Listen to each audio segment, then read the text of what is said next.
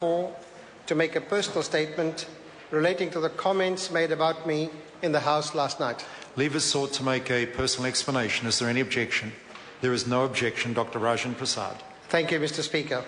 Last night, in the debate the, on the first reading of the bill on paid parental leave, the member for Taupo, Louise Upston, said that in a debate in this House last week, I had implied that mothers were not capable of doing two things at once. I made no such statement and believe nothing I have said on the risks of work testing solo parents with a one year old child could be construed in this way.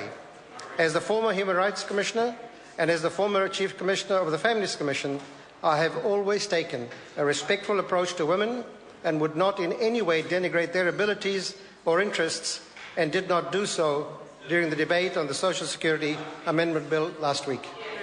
That brings to a close questions for oral answer.